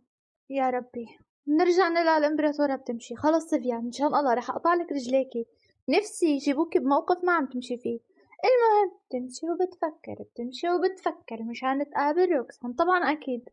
بينما كانت عم تتمشى بتتذكر الكلام اللي صار بينها وبين ديموس وبتقول إنه يعني تتذكر الأشياء اللي صارت وبتحكي إنه كلامه صحيح وما بعرف شو وإنها إذا بدها تنقذ الضعفاء وهيك فلازم إنها فعلا تحاول تعمل هذا الشي وبتقول إذا أديت الواجبات اللي حكى عنها بقدر أنقذ الفقراء. بس أنا خايفة كتير لما تكون عم تمشي وبينما هي عم تبكي. روكسان سبحان الله بيظهر قدام وجهها. عن جد أنا بشوف مثلا الحدا من بعد 300 كيلو متر لا عن جد أنا بصطدم برضه بالناس على فكرة. ما بشوفهم غير ليطلعوا بوجهي المهم بتستغرب قال وبتقول له روكسان سوري ما لاحظت وجودك؟ كنت شاردة بأفكاري. فبيحكي لها مو مشكلة لا تقلقي. وبيمسح دموعها وبقولها سافيا مو مشكلة يا عمري لو بكيتي. بتستغرب هي وبتتأثر كمان وبتبلش تبكي. فبيضمها وبيهديها. بيقعدوا الاثنين سوا بيقدم لها شاي الياسمين. وبتقول هي عن جد ما توقعت إنه أبكي بأحضان روكسان. أظهرت له جانب ضيق للغاية. يحكي لها الغرفة ضيقة شوي. هالشي محسسني بشوية إحراج. بتقول له لا لا عادي بالعكس. غرفة مرتبة ومنظمة تماما مثلك وبتحكي يمكن لها سبب بشر بشوية دفء وطمأنينة.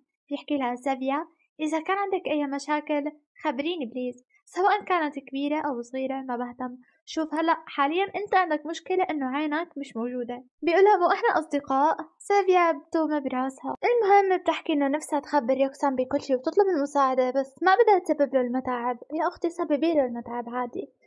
بتقول له يمكن السبب بس إنه الشتاء بيجلب معه القلق. لا لا أختي ما بسمح لك. تغلطي بالشتاء. المهم تحكي لازم أحكي له هلأ إنه أنا بخير وأرجع. بس نفسي كأنه أبقى مع روكسان يحكي لها زافيا شو رأيك نلعب لعبة؟ بتقول له لعبة؟ يحكي لها خلينا نتشارك الأسرار سافيا بتلتفت له وبتقول هاللعبة كنت بلعبها مع ديموس كتير لما كنا صغار.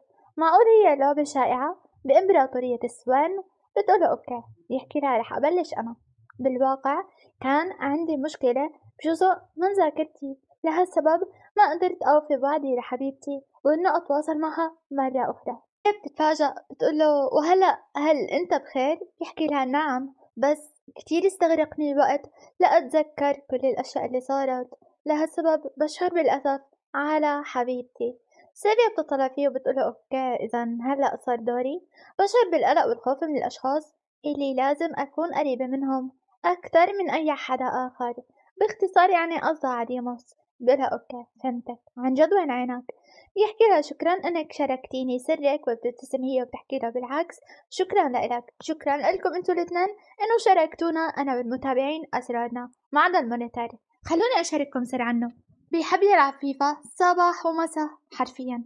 المهم بعدها منلاقي الامبراطورة إجت لعند راس الجوكر هاد حكى لها تحياتي جلالة الإمبراطورة بنعرف إنه هذا هو اللورد إيلون وهو مدير دار أيتام لافنوس مخلوق من نص إنسان ونص غنمة ما المهم تسأله إذا الكل بخير وبيحكي لها نعم. كل مديري دور الأيتام الثمانية اجتمعوا بالمنطقة وبانتظارك بالداخل بتفوت جوا وبتلاقي طبعا القيامة قايمة قاعدة وكل واحد فيهم عم يتخانق إنه هم بحاجة الدعم أكتر من غيرهم. أنتوا لو تهتموا بالايتام المفروض تهتموا إنه الفلوس بتوصل لأي حدا منهم. مش تتخانقوا مع بعض. بيفوت هو لعندهم وبيحكي لهم شو رأيكم كلكم تخرسوا. فبتبلش سيفيا تحكي وبتقول ما في عندي منطقة أقل أهمية. لهيك please كلكم تهدوا. بيعتذروا منها. تسألهم كم تبقى من الإمدادات. بيقول إنه بشكل عام فينا نصمد أسبوعين تقريبا. يبدو إنه دار الأيتام بحاجة لتقليص النفقات أكثر سيفيا بتحكي طلع الوضع أسوأ من ما توقعت. عدد الفقراء عم يزداد والميزانية محدودة. بيسأل طيب شو هي اقتراحاتك؟ بتقول الإمدادات اللي لازم تروح لدار الأيتام خليها بس رح نقلل عدد الوجبات اللي بتتوزع بدور الفقراء. الكل قال بينصدم وهي بتحكي لو بس أقبل وأروح لديموس رح ينحل الأمر. ترددت آلاف المرات. بس هلأ خلص صار لازم أتخذ القرار. ولها سبب بتقولهم لا تكونوا محبطين لأنه في عندي خطة ورح نقدر نحل الوضع. بهالأثناء بيسمعوا صوت موجود برا بيطلعوا كلهم لحتى يشوفوه وينصدموا من كمية العربات اللي موجودة والأمتعة حتى اللي عم تنزل والأطعمة والأغذية. تلتفت هيك وبتقول هل هي الإمدادات اللي تم جلبها؟ بيقولوا لا إحنا ما جبنا أي شي تستغرب شو اللي عم بيصير هلأ؟ بتلاقي الفرسان عم يبتسموا ويقولوا لها تحياتي لإلك إحنا جينا لك. بتنصدم انه هدول هم فرسان روكسان شوي ليش؟ شو عم يعملوا بهذا المكان؟ تاتا! وهنا يظهر البطل. وبينزل وبيمشي مشية كلها فخر وعز تتفاجأ سافيا أكتر وبتقول له روكسان بيقولها لا أخو. بايخة. سافيا طبعا. تتفاجأ من ظهوره. بتقوله شو عم تعمل هون؟ بيحكي لها جيت لأدفع رسوم الإيجار ها؟ رسوم الإيجار. بيحكي لها مو انت خصصتي القصر الغربي لفرسان وحدتنا؟ بتقول بس هاد كان بمثابة تقدير لأنكم ضحيتوا من أجل الإمبراطورية. بيقولوا لها ولو إحنا مو عديمين الاحترام ونترك الآخرين ونعيش على حسابهم. بتقول بس مع هيك. بيحكي لها روكسان خلينا نحكي على انفراد بصفتي راعي ومسؤول عن الأعمال الخيرية. فعلا هذا اللي بيصير بتقوله sorry والله. ما في مكان لاستقبال الضيوف فيعني حنقعد نحكي بتقريبا غرفة الخزين. بيحكي لها ما في مشكلة. بتقوله عن جد كون صريح معي. شو كل هالأشياء اللي جبتها برا؟ بيقول donations donations آخ آخ على ال donations ما في حدا بيعطيني donation أنا. بيحكي بتبرع بصفتي واحد من النبلاء ما تلقيت الدعم من النبلاء سابقا. تحكي صح. عادة كنا نتلقى تبرعات من النبلاء لهيك ينبغي إنه كمان هالمرة نقبل لو ما كان ديموس وقف الأعمال الخيرية. لهالسبب بتقوله اسمع شو روكسان إذا ساعدتني بهالطريقة راح تتخانق أنت والإمبراطور تقريبا. بيقول روكسان إذا هاد اللي مخوفك فأنا والإمبراطور بعلاقة مستحيل يتم إصلاحها. ما فيني أوضح لك أكثر بس كان في سبب يمنع الإمبراطور من إنه يطردني من العاصمة. تستغرب بتقول شو هالعلاقة؟ وشو قصده بالضبط وليش هيك قصتهم بيحكي لها شعرك متجمد. بتقوله يمكن بسبب الثلج بس تخجل من إنه اقترب منها. بيبتسم لها وبيحكي لها سيفيا في شي بدي أقدم لك إياه. مبلغ التبرع. ممكن تتفقدي؟ تنصدم؟ وبتقول إنه المبلغ كتير كبير. اسمعي سيفيا إذا ما بدك إياه مو مشكلة أنا بقبله. بالله مو بتحسوني طول الوقت بحكي عن الفلوس وهيك إني كتير طماعة. آه لا لا أكيد مو طماعة يعني بس بتعرفوا الفلوس آه تستطيع أن تجعلك سعيدا إذا بتحط هدول الصوات هدول الأشياء نهاية حياتك رح تكون. المهم بتقوله بتوقع إنه ما لازم التفرقة بين القليل والكثير من التبرعات بس هذا المبلغ كتير ضخم أصلا يمكن بكفينا ثلاث سنين وهالشي بيشمل المبلغ الخاص بفرساني. إذا ما قبلتي فيه صراحة رح يحسوا بالغضب يعني قصده إنه الفرسان كمان ساهموا. لهيك بليز بتمنى إنك تقبلي. بتتأثر كتير كتير وبتقول بكل مرة بكون خلص رح أتخلى عن كل شي. بتظهري وبتدعمني. بتساءل هل عم بتساعدني عن جد؟ بس لأنه إحنا أصدقاء. بحكي له هيك قدمت لي معرفة كتير كبيرة فبيحكي لها ممتاز. بقدر أطلب منك واحد أنا كمان؟ تحكي له أكيد شو هو. فبيحكي لها بتمنى إنك تهتمي بحالك. شو قصدك؟ إنها طالعة بشعة؟ وبيقول كمان يا ريت تستغليني لنحقق هالشي. تحكي له أستغل أكتر من هيك شو بالضبط مش ضايل شي يعني حرفيا.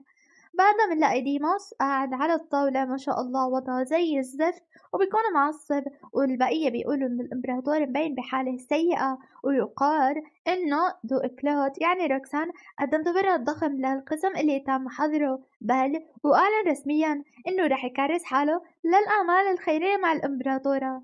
وكمان النبلاء لهالسبب صاروا يتبرعوا بعدها بما إنه الدوق كلاود تبرع يعني حرفيا مسح بكرامة الإمبراطور الأراضي الإمبراطور حضر اللي صار وهو حرفيا راح وتحداه وخلى النبلاء حتى يصيروا مثله. وفوق كل هذا يقال بأنه الإمبراطور منح ميزانية الأعمال الخيرية. لحبيبته شو هاد؟ الإمبراطور صار يتم انتقاده بكل مكان. ما شاء الله بس انتو عن جد قادرين تحكوا هالكلام قدامه.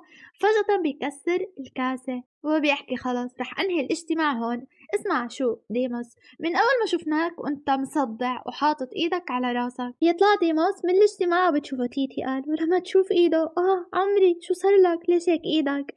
بينما بهالأثناء بنلاقي سيفيا كمان سبحان الله قابلتهم بنص الطريق. وحيته حكى لها هل انت مبسوطة؟ قالت له عن شو؟ أنت اللي بلشت بالتهديدات. حتى لو كان من واجب الامبراطورة انها تأدي دورها ما كان لازم تستخدم شعب الإمبراطورية لحتى تهددني. بيحكي لها انت هيك؟ شوهتي سمعة تيتي؟ لا لا عن جد. قديش أصلا كانت سمعتها طاهرة؟ لا البيت ده طاهر وهيفضل طول عمره طاهر. يمه الميطان بتقول له مو أنا اللي نشرت أي إشاعات عنها؟ بيحكي إذا مين؟ بتقول له وأنا شو بعرفني؟ من المحتمل إنه يكون في أكثر من شخص. بالقصر بينظروا لعلاقتك بعشيقتك كنظرة سيئة. أما أنا بصراحة مش فاضيت لك وما عندي الوقت الكافي لأنشر هيك إشاعات لا عنك ولا عن غيرك. يلا عن إذنك. باي باي. بعدها منلاقي الإمبراطورة قاعدة مع ما شاء الله شلة أطفال قال عن جد شو الإمبراطورة بس معلش عم بتبالغي المهم بيحكوا إنها كتير طالعة حلوة وإنه ريحتها مثل الزهور وهيك وبيطلبوا منها تجرب بعض الأكلات اللي عم ياكلوها. تحكي إنه أمر رائع إنه الأطفال بطلوا يشعروا بالجوع. هالشي عن جد بيخليها سعيدة. كل اللي صار كان بفضل روكسان. لما تلتفت له بيرجع يلتفت لها وبتحس بالخجل لما تتلقى عيونهم. بعدها لما يخلصوا بتطلعوا سوا وبتقوله بعرف إني شكرتك ألف مرة بس عن جد كمان شكرا. ما توقعت أبدا أشوف الأطفال سعداء. كانوا من زمان بحالة سيئة. بيقول سعيد إني ساعدتك بتقوله اسمع أنت ساعدتني كتير صراحة ومش عارفة كيف أرد لك الجميل بيقولها اسمعي شو سابيا لأنه إحنا رفقات. هل بتفكري إنه ساعدتك لهالسبب؟ هي بتقول ها؟ أتوقع أكيد ولا ليش؟ المهم روكسان بيطلع هيك بسلبيان بيقولها عن جد بتفكري إنه ساعدتك لأنه إحنا رفقات؟ الله. يحكي لها ما في رجل بيساعد امرأة بدون سبب. أنا بالحقيقة بدي أكون كل شي لإلك سيفيا. تحكي يمكن كنت بعرف مشاعره من الأساس يعني مو هبلة بس عاملة حالك هبلة. وبتقول أنا كمان بعرف اللي جوا قلبي بس لأ ما فيني أقبل هذا الشي. تبتعد عنه. بتقول أسماء هي الإمبراطورة المثالية. أم الإمبراطورية كلها هاي هي القيم اللي أنا عم بحاول أحميها. وما في أي قيمة أخرى لوجودي بهذا المكان. يحكي لها إذن رح أستناكي كسيفيا ومو كالإمبراطورة. هالشي بيصدمها. بتقول قرأ أفكاري ولا شو؟ روكسان بيحكي رح أحتفظ بسيفيا بقلبي بأي شكل من الأشكال. هاي هي إرادتي وحريتي. هيك please خلص. لا تدفعيني بعيدا ولا تتخلي عني. فعلا هاد اللي بيصير. وبينما سيفيا بتكون ما شاء الله يوم ورا يوم عم تشتغل ورا بعض وبيتي بتقولها إنها ما عم تتناول الطعم بشكل جيد هي بتكون حاسة إنه هي بخير. بس بتقول إذا بقيت صامتة ما بعرف شو اللي رح يصير. بيكون شغلها كلام روكسان ما فيها تتوقف عن التفكير بهذيك اللحظة. بهالأثناء بتيجي خادم اللي عندها وبتقولها إنه البارونة سواني وصلت لزيارتها. بيتفاجئ وقال من هالشي. وبنعرف إنه البارونة سواني هي البجعة يعني البيضاء السريعة. كل الأحوال تقعد مع سابيا وبتقولها شكرا إنك تقبلي تقعدي مع امرأة عجوز. السبب ولا رغبتي بلقائك هو هذا الشي. تنصدم لما تشوف التبرع الضخم بهذا المبلغ. وبتحكي لها أكيد خليني أتبرع فيه. شو رح أعمل بكل هالفلوس؟ أعطيني إياهم. بتقول لا بيستخدموا بالقبر ولا غيره. فسافيا بتحكي لها بليز يعني بعيد الشر عنك. بتقول هي الحقيقة وكمان في عندي سبب خاص. أنا ممتنة بسببه لإلك. تسألها شو هو؟ بتقول قصر روبن له معنى خاص بالنسبة لإلي لأنه المكان اللي خدمت فيه الإمبراطورة الراحلة حتى النهاية بتقول آه أنت عم تحكي عن حادثة تيتي لقصر روبن.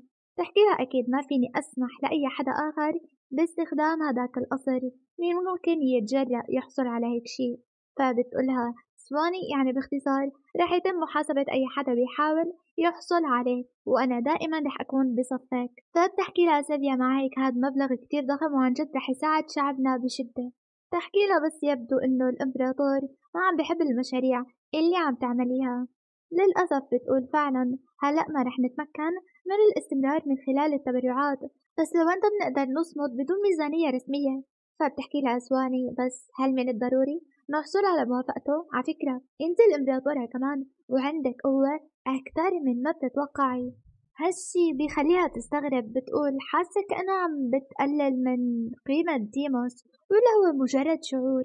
المهم سواني بتقولها. طيب يلا إذا أنا رح أستأذن وبتقرر إنها تغادر.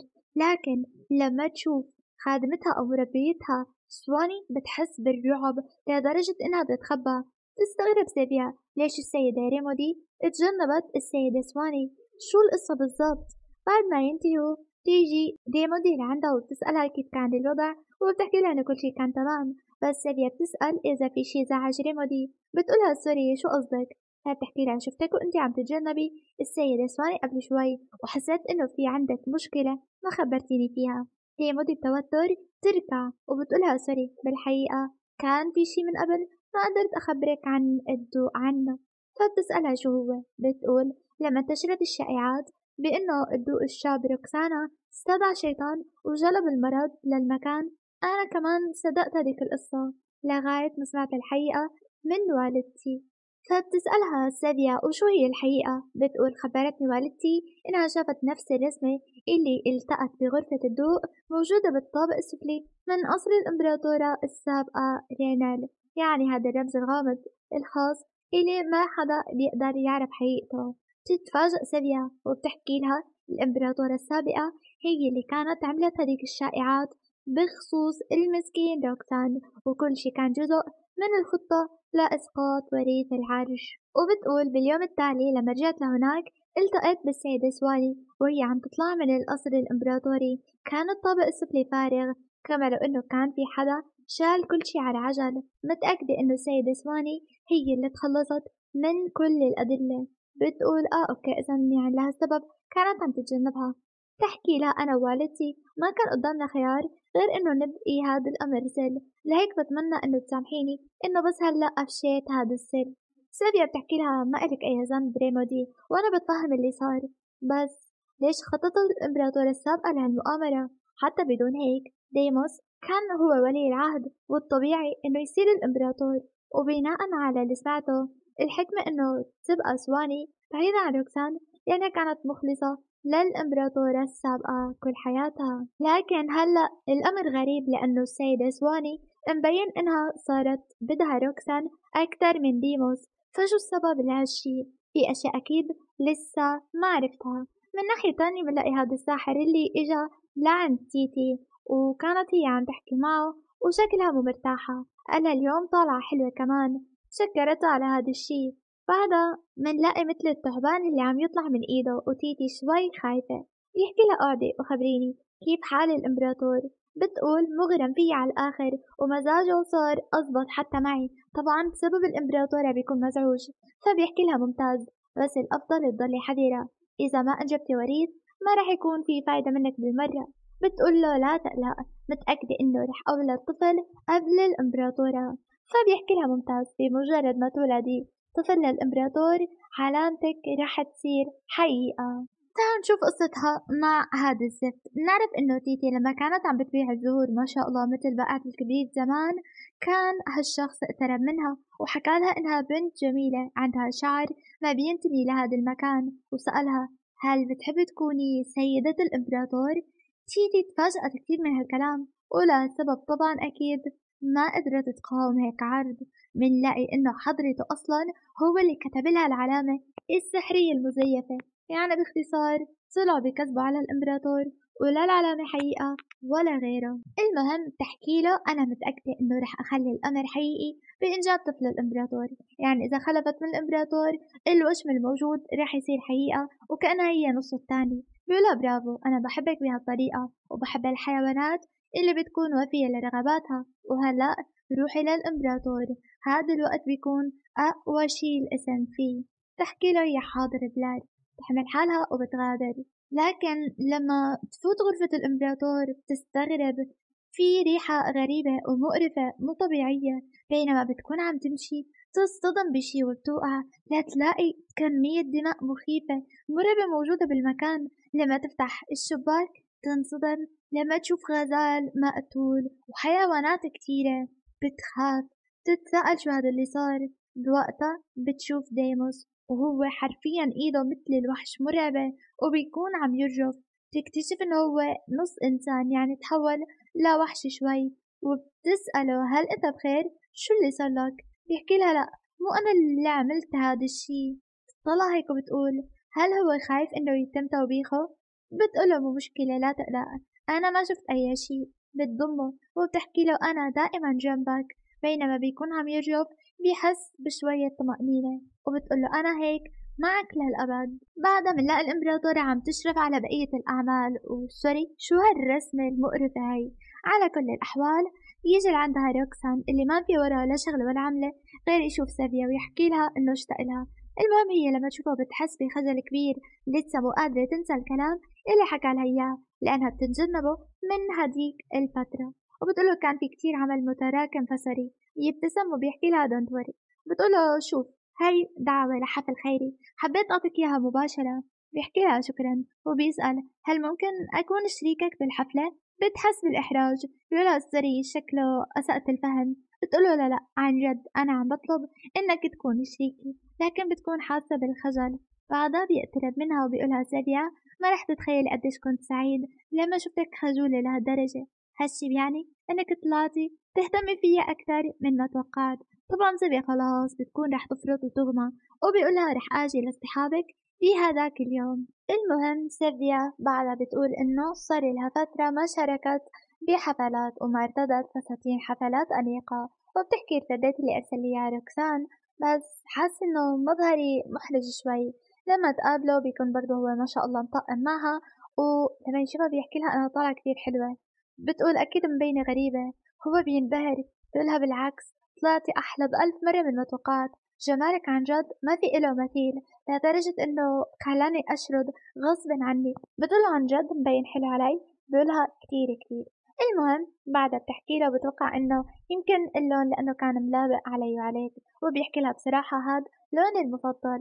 في عنا كتير أشياء مشتركة يا سيديا. هل بتسمحي لي أرافقك بتقول أكيد. وهيك بيفوتوا الاثنين سوا. بينما بقية النبلاء بيكونوا عم يطلعوا عليهم. ساديا بتشكر الكل على قدومهم وعلى كل الأعمال الصالحة اللي ساعدت بمرور فصل الشتاء. وبتقول بتمنى إنه حظكم السيء ينمحى بهالأعمال الخيرية. لكن الصادم لما تشوف ديموس التافه إجا مع تيتي. هالشي بخليها تتفاجأ. بعدها بتقول اهدي كلنا بنعرف إنه ديموس منع الجمعية الخيرية لهيك من الطبيعي إنه ما يكون كتير يعني مقبول وجوده في طلع هو فيها هيك وبيقول كأنه مش لازم أكون بهالمكان تيتي بتحكي مستحيل أنت الإمبراطور كل شي بالإمبراطورية لإلك. روكسان بيحكي sorry بس هاد حفل خاص للمتبرعين. فبيطلع ديموس هيك وبيروح معطيهم هداك الشك وبيقول طيب يلا اسمحوا لي أتبرع أنا كمان وهلأ بقدر أحضر صح؟ روكسان يا ربي مش طايقه وبتحكي وقتها سيفيا لازم أهدي الوضع قبل ما يصير أكثر سوءا. تتشكروا على المشاركة هاي. وبعدها بيطلع فيها وبيحكي لها لا أنا جيت هون لحتى أشوف الإمبراطورة. وبيمسك إيدها بالشكل التافه وبيقول دفعت ثمن عادل. لهيك أعطيني من وقتك. وبهيك بنكون وصلنا لنهاية القسم الثاني من حكاية سيفيا وروكسان. اكتبوا لنا رأيكم بالتعليقات. وشو اللي رح يصير معهم. بنشوفكم بملخص جديد. ولا وقتها سايونارا.